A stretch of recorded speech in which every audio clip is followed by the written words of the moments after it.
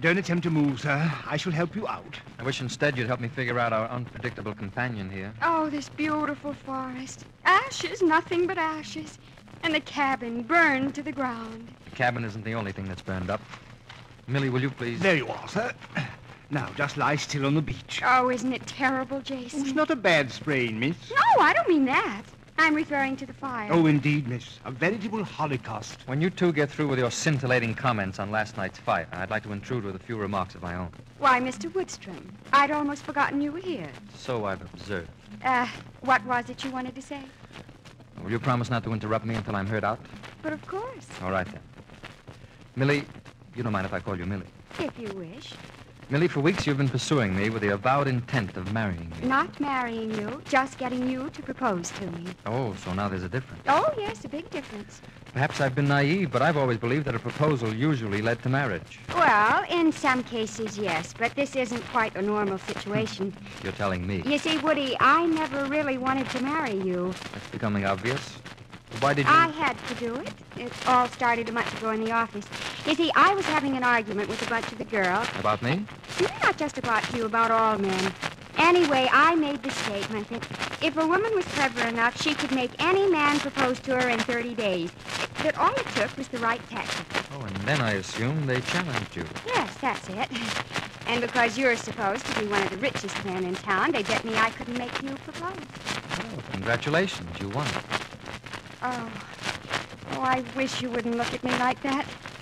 Jason, you understand, don't you? Indeed, I do, miss. Ah. My original conception of you as being a woman unutterably uninhibited has been conclusively vindicated. Why, Jason, thank you. I knew I could count on you. You... you really dislike me, don't you, Millie? Oh, Woody, I'm sorry. Believe me, it's not your fault. That's a comforting consolation. What is it then? Color of my eyes, maybe? Oh, no, you have lovely eyes. If I may interrupt, sir, I should like to suggest that perhaps the basis for the young lady's aversion is uh, uh, pecuniary. Oh, no, Jason, it's nothing like that at all. It's his money.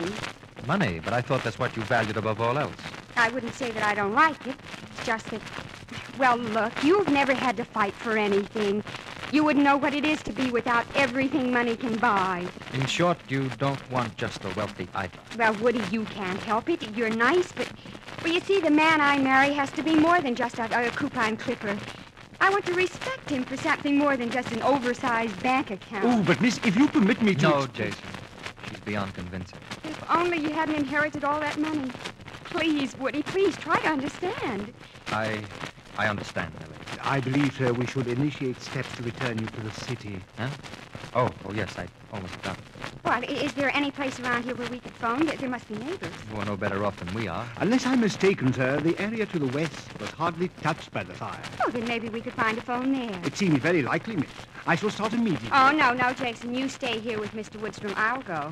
Millie, it's at least five miles to the nearest house. Well, somebody has to stay here with you, and I'd prefer it wasn't me. I'll go. You've had your own way so far. Uh, miss, if you'll head straight through that way, you'll come to a path that should lead you to a small settlement. Well, all right. Don't worry about me. I'll be fine. Millie, are you sure I'm that... positive. Well, don't start any fires while I'm gone. I should be back by afternoon. Well, she certainly made a complete fool out of me, didn't she? Yes, sir. It was a dirty, low-down, mean trick she pulled. Quite, sir. She has done everything to warrant my undying hatred, Jason. Oh, indeed she has, sir. Would you think me completely out of my mind if I told you that... that I... I'm in love with her? Yes, sir. Uh, I, I mean, if you say so, sir. I'm going to get her back, Jason. I'm going to marry that girl.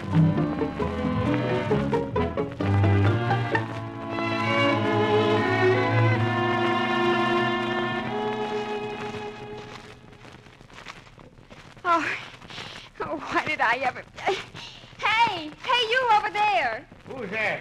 Come them woods so I can see you. Well, it's me. What? Young lady. What did you expect, a talking squirrel? Feels like you've been having a rough time of it, ma'am. That was no golf green I've been walking over. Should have used the trail, only about 50 yards over Uh, that way. never mind that.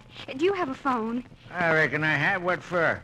Oh, now that's a very intelligent question. I want to make a phone call. There's been an accident. Who? No one you'd know. Mr. Woodstrom's from the city. Mr. Woody? Is he hurt bad? Uh, you, you, you know Mr. Woodstrom? Oh, shucks, miss. Everybody around these parts knows Mr. Woody. Well, don't just stand there. Let's get going. But I, I only wanted to phone for one of his cars. Not when I got my flivver handy. Why, shucks, miss. Wouldn't nobody turn down a chance to help Mr. Woody? Come on.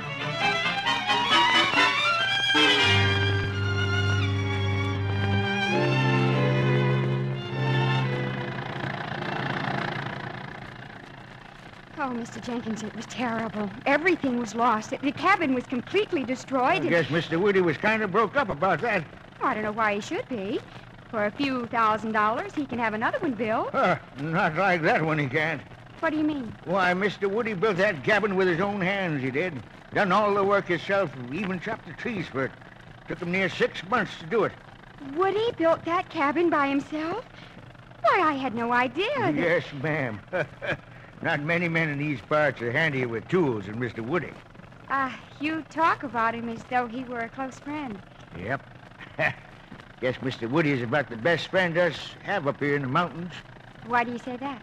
Well, guess you've heard how Mr. Woody's father made all them millions logging up in this country and how when the old man died it all went to young Mr. Woody. Yes, here you were going. Well, it was just about the time a couple of them big city companies from the city, they tried to drive us loggers out of here.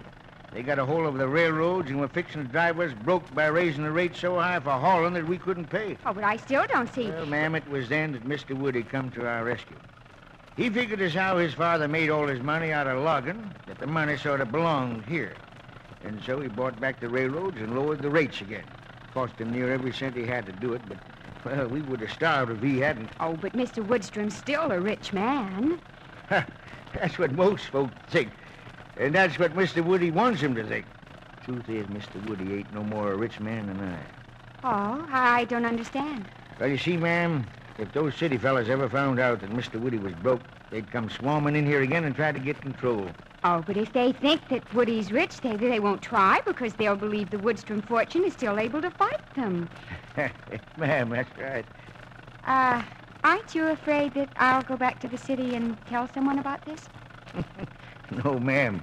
I can tell how you feel about Mr. Woody. You can? Yes, ma'am.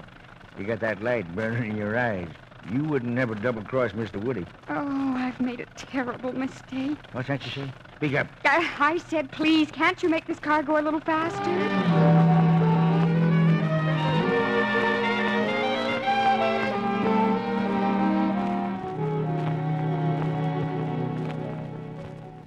I'm worried, Jason. She should have been back before this. Oh, don't you worry about her, sir. It would take more than an Adirondack forest to stop Miss Millicent from going where she was headed. I never should have let her go.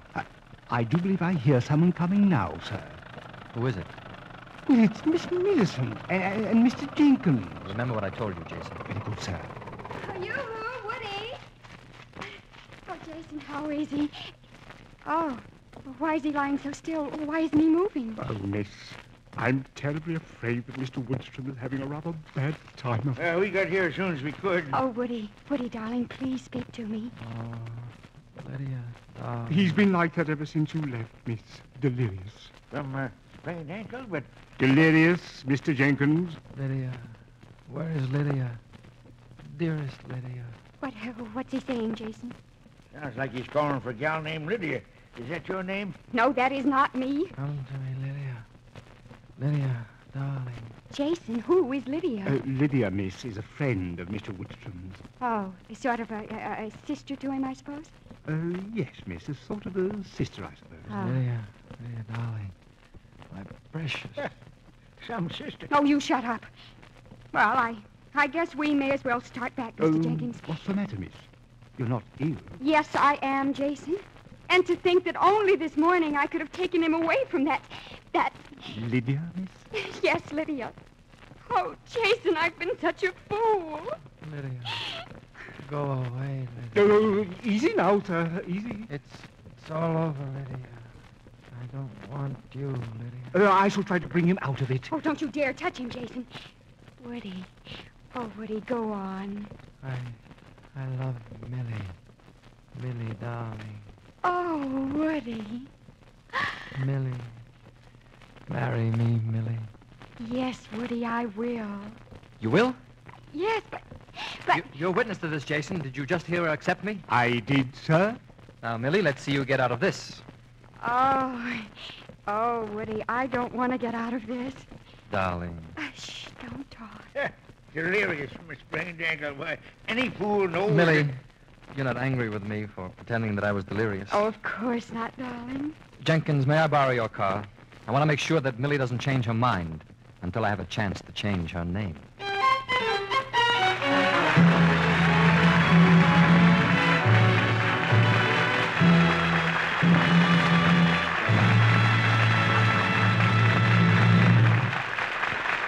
The curtain falls in the final act of Marry Me Not. Our star Richard Conte will return for a curtain call after this timely message from Wendell Niles. You new high school graduates, your education need not stop now, nor do you have to give up thoughts of a career either. You can have both further education and a career. And the answer is the U.S. Army. Yes, you can continue your education through the Armed Forces Institute. At the same time, you'll be learning a worthwhile skill or trade while furthering your career. How can you do this? By selecting the Army Technical School you wish to attend and then, upon acceptance, enlisting in the Army. Yes, you have your choice even before you sign the enlistment papers. And there are nearly 60 different specialties from which to choose. So why don't you look into this, high school graduates? Get the list of Army technical schools from your local recruiting station now. Pick the specialties that appeal to you most. If you qualify, you're putting yourself in line for a great career with lots of opportunities for further education. Now, once again, our star, Richard Conte, and our producer. We'll leave Woody and Millie in their new state of delirium and bring our star Richard Conte before the curtain into the footlights so you may know him as his intimates do as Nick. I like this part of the performance also, CP, where we have a chance to meet our friends in this informal way, no script to read, and we can just be ourselves. Well, Nick, I suppose everyone has seen your recent picture, Northside 777, so what's up next? I've just completed Martin Rome out of 20th Century Fox. Fine, we'll be on the lookout for it. And now, from the screen to the canvas. How is your hobby, oil paintings, coming along these days? Well, the great American masterpiece is still in my mind. With your talent, I'm sure you'll get along all right. And by the way, you've never had an art lesson in your life, have you? Nope, not a one. Now, that is ironical. Well, how's that? Well, New York's Greenwich Village is packed with artists who have studied hard and long. And exhibit their paintings year after year in Washington Square and in cellar spaghetti houses and restaurants. And then dream of fame and fortune, which some obviously deserve. Uh, isn't it the truth? And you know, CP, Yes? my hobby is beginning to really pay off in money. You sell them? now, CP, you know they aren't as bad as that. Hallmark just bought one of my recent oils for a Christmas card, and I do one a year for them. Now I'm really going to turn them out. Christmas cards? No, paintings. Oh. How about taking your order for some, CP? Paintings? No, Christmas cards. Oh, well. I don't know what my friend Ralph Cardoza would say. You see, he always designs my greeting cards. Well, I can't get 'em all. now, from canvas to four sheets, what's the billing for next week, CP? Next week, we present Wayne Morris in the comedy titled Sam Cyclotron, the Cosmic Kid. Wayne plays the part of Johnny Spear, originator of the popular Sam Cyclotron comic strip. The painting ambitions of Johnny Spear's fiancée for him involve them both in a series of exploits that parallel the adventure strips and experiences of the Cosmic Kid. Well, that should be good. I'll be tuned your way. Goodbye, CP. Goodbye, Nick. Join us next week, won't you, ladies and gentlemen, when we present the fast-moving comedy, Sam Cyclotron, the Cosmic Kid, starring Wayne Morris. Until next week, this is C.P. MacGregor saying thanks for listening and cheerio from Hollywood.